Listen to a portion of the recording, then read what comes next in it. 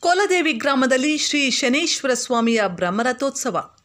ಮುಳುಬಾಗಿಲು ತಾಲೂಕಿನ ಕೊಲದೇವಿ ಗ್ರಾಮದಲ್ಲಿರುವ ಪುರಾಣ ಪ್ರಸಿದ್ಧ ಶ್ರೀ ಶನೇಶ್ವರ ಸ್ವಾಮಿಯ ಬ್ರಹ್ಮರಥೋತ್ಸವ ಶನಿವಾರ ಮಧ್ಯಾಹ್ನ ಎರಡು ಗಂಟೆ ಸಮಯದಲ್ಲಿ ಅತ್ಯಂತ ವಿಜೃಂಭಣೆಯಿಂದ ನಡೆಯಿತು. ಶನಿವಾರ ಬೆಳಗ್ಗೆ ಶನೇಶ್ವರ ಸ್ವಾಮಿಗೆ ಅಭಿಷೇಕ, ವಿಶೇಷ ಅಲಂಕಾರ, ರಥಶಾಂತಿ ಸೇರಿದಂತೆ ಪೂಜೆ ನಡೆಯಿತು. ಮಂಗಳ ವಾದ್ಯಗಳೊಂದಿಗೆ ಉತ್ಸವ ಮೂರ್ತಿಯನ್ನು ತರಲಾಯಿತು.